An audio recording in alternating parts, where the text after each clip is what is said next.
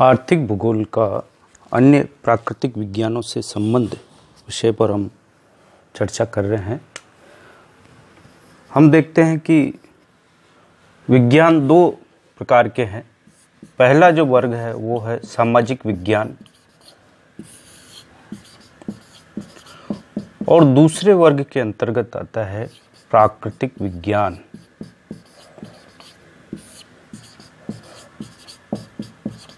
इन दोनों ही विज्ञानों से आर्थिक भूगोल का घनिष्ठ संबंध है।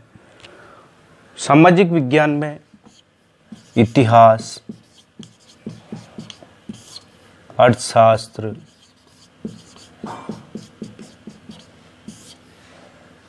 समाजशास्त्र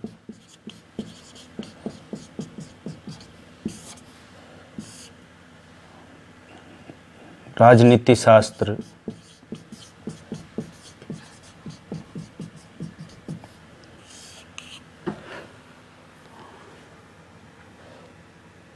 आदि प्राकृतिक विज्ञान हमें देखने को मिलते हैं। सामाजिक विज्ञान।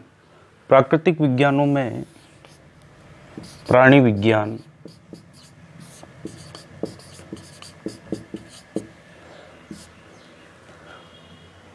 रसायन विज्ञान।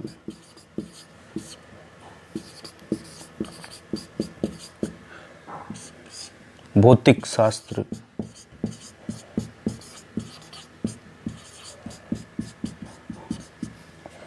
गणित।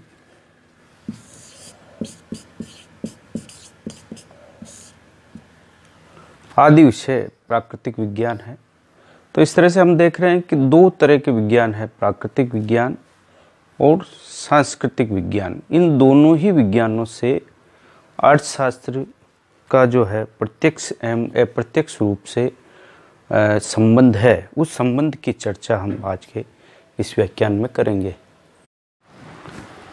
आर्थिक भूगोल और अर्थशास्त्र का बहुत ही घनिष्ठ संबंध है। आर्थिक भूगोल में तथा अर्थशास्त्र में दोनों में ही आर्थिक क्रियाओं का अध्ययन किया जाता है। लेकिन उनके अध्ययन का जो दृष्टिकोण है, वो अलग अलग तरीके से है। अर्थशास्त्र जो आर्थिक क्रियाएँ, जो हमने पाँच प्रकार की आर्थिक क्रियाएँ देखी, उनके सैद्धांतिक पक्ष पर अत्यधिक बल देता है। जबकि आर्थिक भूगोल इन क्रियाओं के अनुभविक पक्ष पर अधिक बल देता है।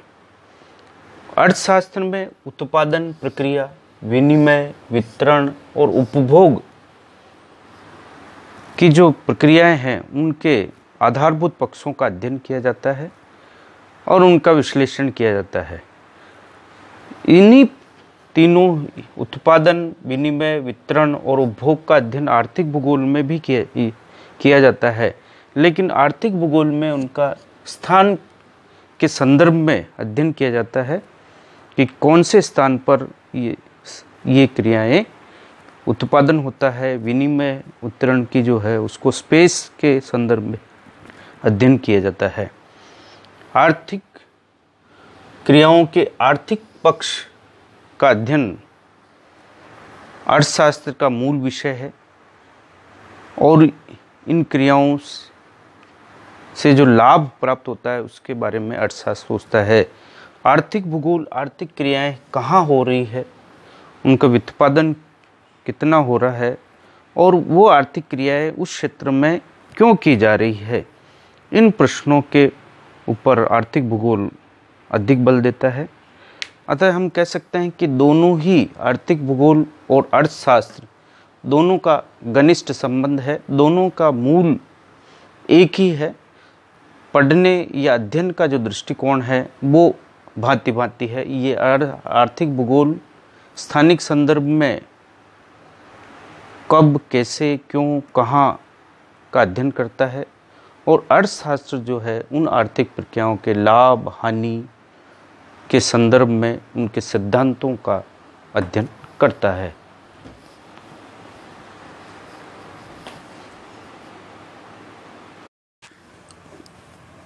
आर्थिक भूगोल और राजनीति शास्त्र का घनिष्ठ संबंध है। आर्थिक भूगोल, आर्थिक क्रियाओं का अध्ययन है। उनके धरातल पर आर्थिक क्रियाओं और धरातल के अंतर संबंधों का अध्ययन है। राजनीति शास्त्र में राज्य, उसकी राजनीतिक व्यवस्था, अंतर्राष्ट्रीय राजनीति और राजनीतिक पहलुओं का अध्ययन जो है राजनीतिक शास्त्र में किया जाता है। राजनीति शास्त्र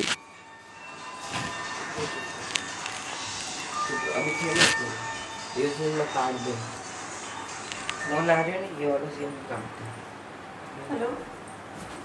बोल बोलो राजनीति शास्त्र में अनेक क्रियाओं का जो राज्य और राज्य की शासन संबंधी क्रियाएँ होती हैं उन क्रियाओं का अध्ययन किया जाता है अनेक क्रियाओं का। इनमें आर्थिक क्रिया का भी अध्ययन किया जाता है जो राज्य की एक महत्वपूर्ण क्रिया है। आर्थिक भूगोल, इन क्रियाओं, आर्थिक क्रियाओं का समुचित ज्ञान दिलाता है। आर्थिक भूगोल में संसाधनों के बारे में अध्ययन किया जाता है। उनकी मात्रा, उनके मूल्यांकन का कार्य आर्थिक भूगोल करता है। इन संसाधनों का उपयोग कैसे हो, इसके बारे में राजनीतिक व्यवस्था या राज राजनीतिज्ञ की इच्छा शक्ति पर निर्भर है कि वो इन संसाधनों का उपयोग कैसे करें। हम देख रहे हैं कि वर्तमान राजनीति में पूरा विश्व के जो देश है, वो संसाधनों की होड़, प्राप्ति की होड़ लगी हुई है। दक्षिणी चीन सागर या मध्य एशिया, जहाँ प्राकृतिक गैस और तेल के भंडार है उनको प्राप्त करने के लिए, चाहे जल मार्गों पर या दुर्गम से दुर्गम स्थानों पर जो संसाधन है, इसी तरह से उत्तरी ध्रुव सागर, अंटार्कटिका महाद्वीप, जहाँ अपार खनिज संसाधन भरे हुए हैं, वो भी राजनीतिज्ञों की नज़र में है और उन सब संसाधनों का अध्ययन जो है हम आर्थिक भूगोल में करते हैं। सामाजिक विज्ञानों में, समाजशास्त्र, सामाजिक विज्ञान में एक महत्वपूर्ण विषय है। समाज एवं उसके अंतर संबंधों का जो अध्ययन है, वो समाजशास्त्र में किया जाता है।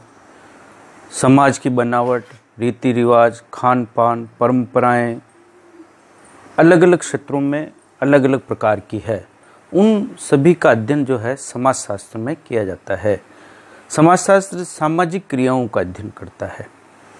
एवं साथ ही उन सामाजिक क्रियाओं पर आर्थिक क्रियाओं के पड़ने वाले प्रभाव का अध्ययन समाजशास्त्र में किया जाता है। आर्थिक भूगोल चूँकि आर्थिक क्रियाओं का अध्ययन करने वाला विषय है, लेकिन इन आर्थिक क्रियाओं पर सामाजिक क्रियाओं का विशेष प्रभाव पड़ता है। उस प्रभाव का अध्ययन आर्थिक भूगोल में किया जाता है, क्योंकि व्यक्ति अपनी आर्थिक क्रियाएँ समाज के द्वारा निर्धारित नियमों के अनुकूल करता है और उन्हीं परंपराओं का, के अनुसार आर्थिक क्रियाएँ करता है। तो सामाजिक क्रियाओं का, आर्थिक क्रियाओं पर क्या प्रभाव पड़ता है, इसका अध्ययन आर्थिक भूगोल में किया जाता है। गरीबी, अशिक्षा, कुपोषण, तीव्र जनसंख्या वृद्धि जैसी सामाजिक व्याधियों या सामाजिक बुराइयों का अध्ययन समाजशास्त्र में किया जाता है। इनका इन सामाजिक बुराइयों को दूर करने के लिए आ, समाज का विकास होना सामाजिक विकास होना चाहिए और वो सामाजिक विकास जो है आर्थिक विकास पर निर्भर है। और आर्थिक विकास तभी संभव होगा जब हम आर्थिक भूगोल या आर्थिक रूप से हमें उपलब्ध संसाधनों पर अध्ययन अध्यापन पर ज़ोर देंगे। अतः हम कह सकते हैं कि समाज, शास्त्र और आर्थिक भूगोल दोनों का घनिष्ठ संबंध है। सामाजिक क्रियाएँ आर्थिक भूगोल को, आर्थिक क्रियाओं को प्रभावित करती है और आर्थिक क्रियाओं के परिणाम स्वरूप सामाजिक विकास या उस समाज का जो है विकास होगा, उसमें जो है उस क्षेत्र की जन, जो जनसंख्या है, उसका रहन सहन खान पान और उनमें जो है गरीबी, अशिक्षा, कुपोषण जैसी जो व्याधियाँ हैं, वो दूर होगी और जो अर्धविकसित या अल्प विकसित राष्ट्र हैं या समाज है, वो विकासशील और विकसित समाज की ओर बढ़ेगा। साथियों, हम लोगों, हमने आज आर्थिक भूगोल का अन्य विज्ञानों से संबंध का विषय पर अध्ययन किया। इसमें हमने केवल सामाजिक विज्ञानों, अर्थशास्त्र समाजशास्त्र इतिहास और राजनीति विज्ञान का आर्थिक भूगोल से क्या संबंध है उसके बारे में हमने चर्चा की। इस पर आ, हमारे परीक्षाओं में या अनेक प्रकार के प्रश्न आते हैं तो छोटे प्रश्नों में आर्थिक भूगोल और समाजशास्त्र का क्या संबंध है बीस शब्दों में लिखिए या पचास शब्दों में आर्थिक भूगोल और समाजशास्त्र का क्या संबंध है इस पर टिप्पणी कीजिए। साथ ही इको अर्थशास्त्र और आर्थिक भूगोल के घनिष्ठ संबंधों की व्याख्या कीजिए। अर्थशास्त्र और राजनीतिक विज्ञान के घनिष्ठ संबंधों की व्याख्या कीजिए। या इन दोनों में कैसा संबंध है इस पर विवरण दीजिए। एक बड़ा प्रश्न, आर्थिक भूगोल का सामाजिक विज्ञानों से संबंध है इस पर विस्तार से लेख लिखिए। ये आप लोगों का गृह कार्य है इससे कर लीजिए। आप लोग इस YouTube चैनल को सब्सक्राइब भी कीजिए, ताकि आपको आगे भी इस इस विषय पर आर्थिक भूगोल पर तथा भूगोल के अन्य शाखाओं पर आपको बहुत ही लाभदायक व्याख्यान देखने को मिलेंगे। आप इसका लाभ उठाइए।